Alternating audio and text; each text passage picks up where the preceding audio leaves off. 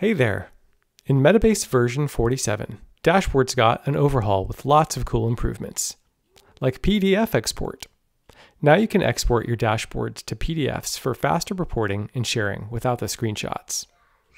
Customize your homepage with a dashboard of your choice so you get the most relevant data in front of your team as soon as they open Metabase.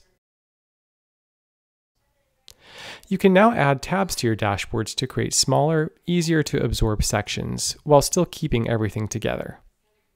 We've also made the dashboard grid smaller, so you have more control over making your dashboard look the way you want it to.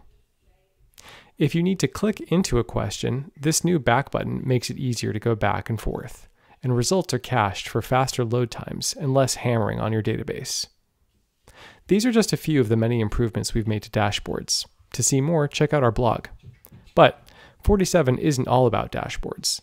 CSV uploads allow you to bring together more data sources faster and apply the full power of Metabase to your spreadsheets.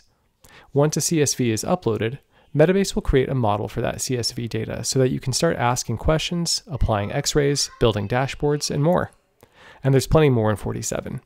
Be sure to check out our blog to find out more about the upgrades to serialization, how you can grant row level SQL permissions with connection impersonation, and more. Let us know what you think. And as always, thanks for using Metabase.